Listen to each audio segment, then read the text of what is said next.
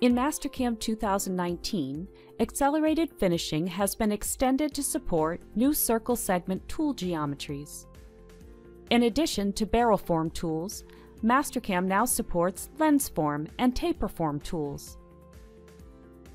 Circle segment tool profiles include multiple radius segments as well as large radius segments on cutting edges, which can deliver faster results with a better finish.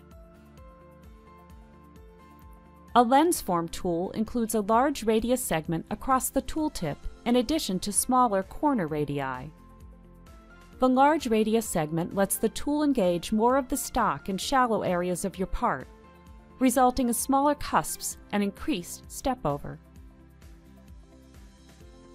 Taper form tools include four circular segments. In addition to the ball tip and radii at the top and bottom of the taper, the tapered segment itself is a large radius circular segment.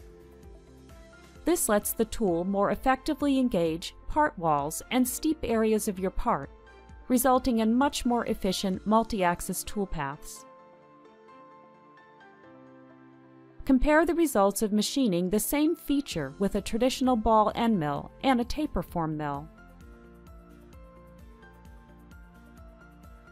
When you machine this area with a ball end mill, you see that you need a very small step over, resulting in many cutting passes.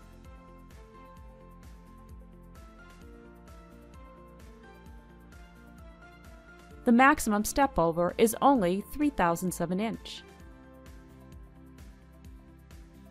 When you machine the same part feature with a taper form mill, you can see that the tool engages the part much more effectively, resulting in significantly fewer cutting passes.